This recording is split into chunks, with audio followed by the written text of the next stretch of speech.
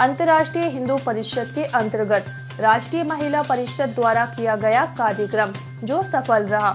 एक गरीब परिवार में रहने वाली जागृति सकपाल विरार की रहने वाली दुबई से गोल्ड जीतकर आई।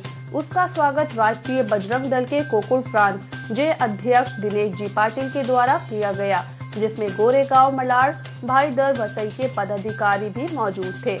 वहीं पे राष्ट्रीय महिला परिषद नाला सुपारा विभाग की अध्यक्ष अनुपमा श्रीवास्तव और बड़ी तादाद में उनकी टीम थी।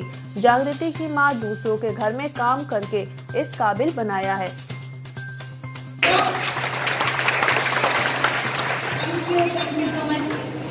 स्कूल का दृश्य है, जब आप देख रहे होंगे कि सारे के सारे बच्चे वहाँ पे स्पेशल है।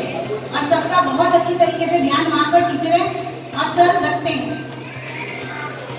उनकी मम्मी पापा ने हर स्तर पर उनका साथ दिया है। जब जब उनकी हार हुई है, जीत हुई है, वो गिरी है, किसी ने उन्हें चढ़ाया है, हर वक्त उनकी मम्मी और उनके पापा ने उनका साथ दिया है।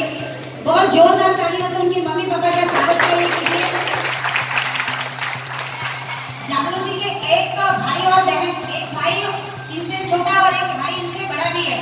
दोनों ही नॉर्मल चाहिए दोनों ही अच्छा कमा रहे हैं। एक डायमंड फैक्ट्री में है और एक अपना प्राइवेट बिज़नेस करते हैं।